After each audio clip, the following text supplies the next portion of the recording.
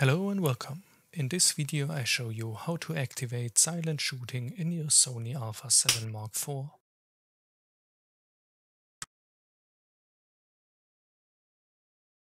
Let's start the camera.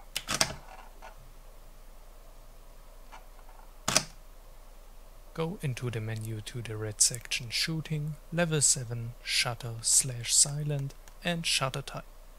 Just choose electronic shutter and you won't hear the shutter again. I hope this video helped you, I would appreciate a like and or subscribe, have a nice day.